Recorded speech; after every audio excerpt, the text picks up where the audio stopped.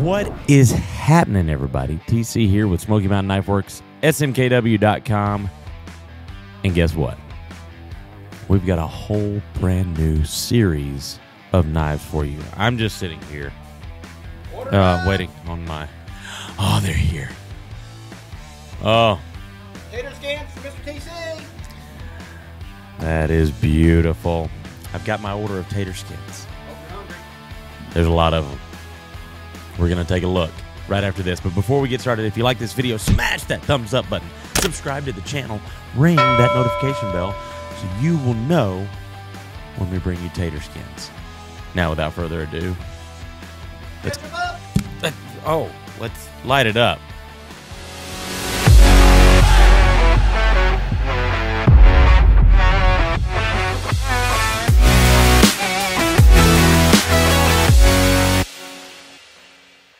So looking at this right here, we've got 11 new knives right here in one family. Uh, they're called the Tater Skins. That's what's on the box.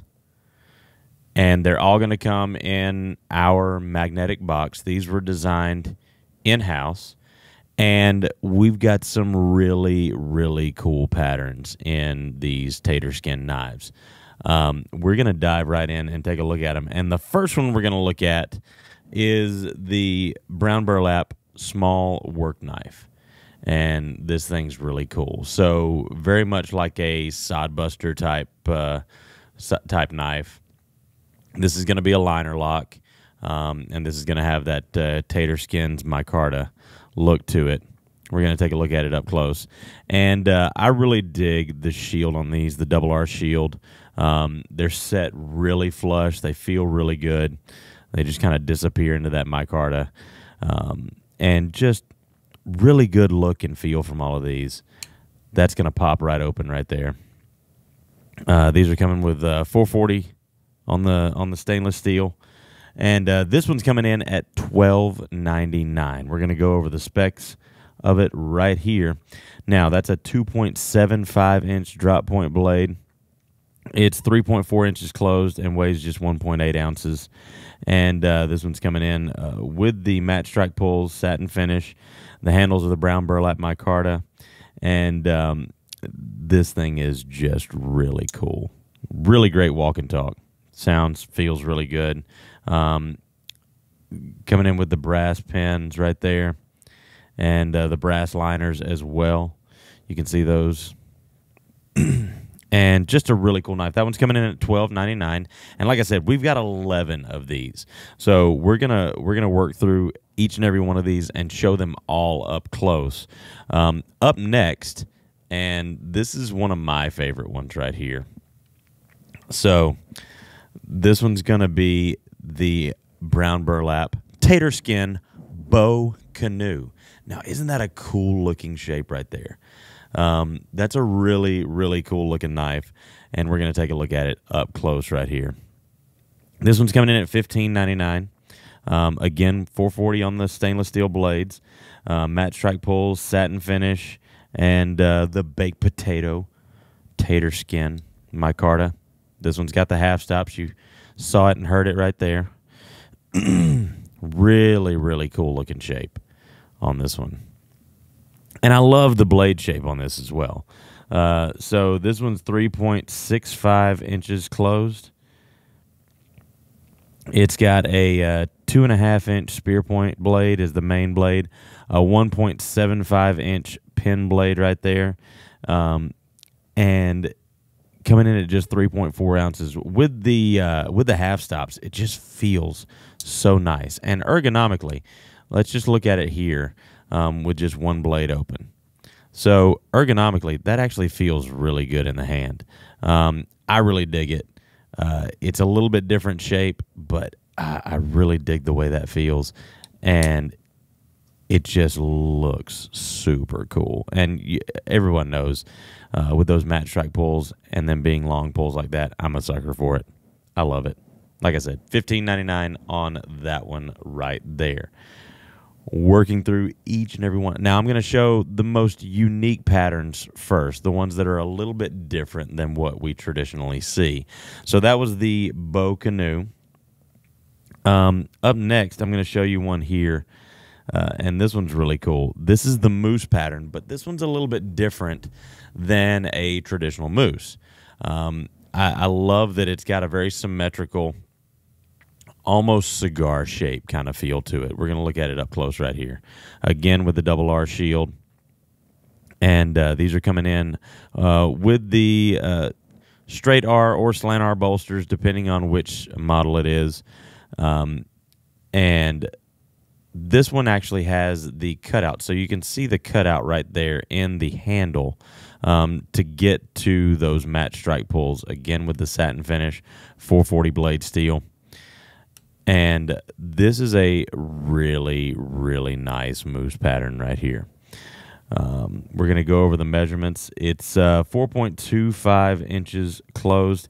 It's got a 3.25 inch clip point blade and spay blade. So we can look top down here. And with our trusty, handy dandy NAFS ruler, 3.25 inches right there. You can see it on the camera. 3.25 inches right there.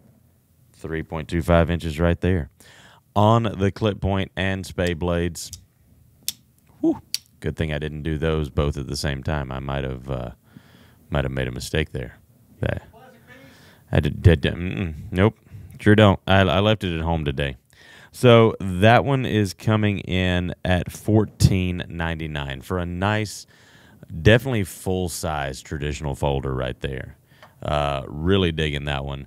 Um, also, we've got the lady leg, and that one's really cool. I'm digging that one right there. Um, now we don't do the lady leg in absolutely all of our patterns. Uh, this one we did, and I'm I think this one's going to be really popular. This one's coming in at ten ninety nine. Got the clip point blade right there. Feels good in the hand. It's a really cool conversation piece, and uh, again with the double R shield uh, brass pins and liners, nickel silver on the bolsters, and uh, really, really dig that pattern. That's another one with the long pull in it. Know that I like that. We've also got the traditional um, full size Stockman right here. Now the Stockman is coming in at fifteen ninety nine. We're gonna take a look at that one right there. So again with the half stops, and you know, we've talked about this a lot before. Um, we really uh, take pride in the fact that we we take that little extra step in making sure that uh, the fit and finish is where it needs to be, and half stops is just one small part of that. Um, because that's not something that everybody does. That's not something that you have to do, um, but it's just a little extra uh, that we want to add in there. Uh, now this one's coming in at fifteen ninety nine. Um, it's going to be a traditional Stockman pattern, um, full size Stockman pattern. We're going to go over the blade specs on this one. So this one's got the 3.25 inch clip point blade, a two and a half inch sheep's foot, and a 2.25 inch spay blade right there, um, making this a, a, really really nice Stockman pattern. Um, that's going to be one of my favorites in this series, absolutely. Um, so we're just not even halfway through. We've got several others coming up here. Now, most of the rest of these are going to be traditional patterns um, that you know and love. Uh, we do have a single blade bow trapper right here. Now, uh, there has always been uh, conversation on the size of the actual bow trapper. So we're going to go over the specs of this one right here as we take a nice close look at that one right there. So this one's coming in at seven inches overall, and we're going to go to our top-down camera, bring in our NAFS ruler right there. This one's coming in with a three-inch clip point blade right there. 0.07 inches thick on the blade stock, four inches closed, and seven inches overall. Um, with the half stops, making this a really, really nice single blade knife right there. Also, we're to have a more of like a, a sow belly trapper. That's that's a better way of putting it. So, a sow belly trapper right here. Um, really, really digging this thing. So let's take a look at that sow belly trapper right there. That's a cool look right there, and a really, really nice looking knife. Um, this one's coming in with a 2.75 inch clip point and spay blades. It's 3.75 inches closed, and uh, also coming in with the 440 on the blade steel, uh, nickel silver on the uh, bolsters, and brass pins and, and liners. Really, really digging this knife, and love the swedging on top and the crowning on top of that blade. I mean, that's another step in these knives that doesn't have to be done um, but it just really adds to the fit and finish. And these all have a super awesome feel. We've also got a traditional trapper right here. Um, and the cool thing about this one is I really dig this. It's got the nail nick and it's got the long pull on both blades right here. So there's the clip point blade. You see the nail nick right there, the long pull right there. Also on the spay blade right here, you've got the nail nick up here You've got the long pull right there. And I really dig that. That's going to be a traditional trapper pattern. Really love that one. Um, so that trapper is coming in at fourteen ninety nine. Now, one of my favorites and one that I'm super excited to see, and that's going to be this one, the Congress. Um, so I've said this before. Uh, I, I really hate that Congress knives aren't more popular than they are, and that's why you know we don't do them in all of our patterns. Um, but I really, really dig this Congress, especially um, with the satin finish on the blades. I think this one's really, really well done, and I just love a Congress knife. This one's coming in at fifteen ninety nine, four forty again on the blade steel. It's 3.75 inches closed. It's got the two uh, the 2.25 inch spear point and sheep's foot on the main blades, and then the two two inch pin blades right there. And again, with the swedging on top, um, just really really tops these things off, and really dig that knife right there. I love the way it's spaced. I love the way it's laid out. Just beautiful. Another really cool one that we've got in this series and that I'm really excited about is going to be the large toothpick. Now, I know a lot of people are really going to be digging this one. I think it's really cool. Let's take a look at that one up close right here. So, this is going to be the large toothpick. This one features a four inch clip point blade, it's five inches overall. Let's pull that puppy out. And yes, this single blade toothpick has a half stop. And look at that puppy right there. Barely fits in the frame. Just barely fits in the frame. That is a really, really cool knife right there. Feels good in the hand. Um, again, with the match strike pulls. And uh, really, really dig that thing right there. That one's coming in at thirteen ninety nine, and we've just got one more to get to. So, like I said before, these are our tater skins, and of course, we had the bow canoe We've also got the traditional canoe right here.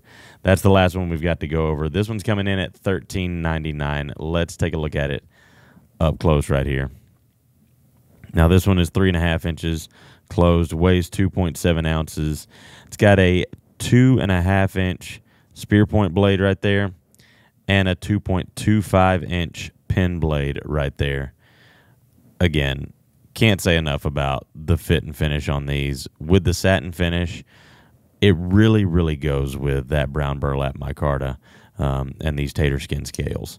Um, so beautiful, beautiful knives right there. Like I said, this one's coming in at thirteen ninety nine, and that's going to be all of them. So, quick recap: we got the traditional canoe, we've got the bow canoe, we've got the lady leg, we've got the large toothpick, we've got the Congress, We've got the traditional trapper.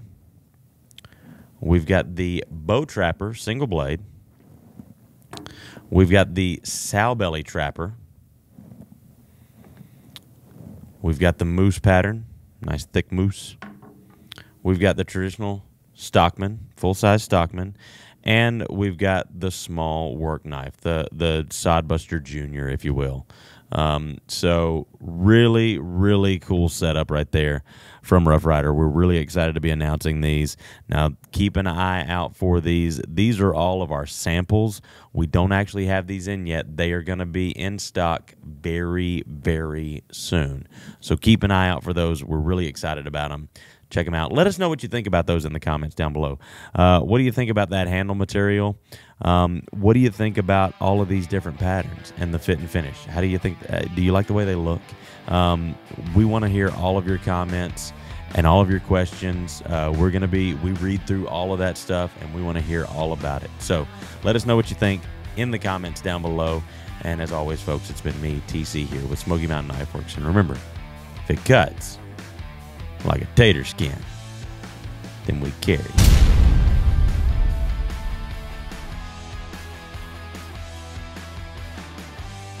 All right, all right, all right.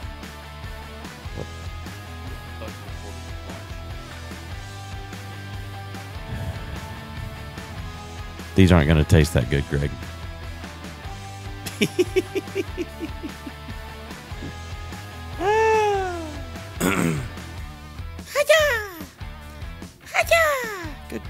Almost.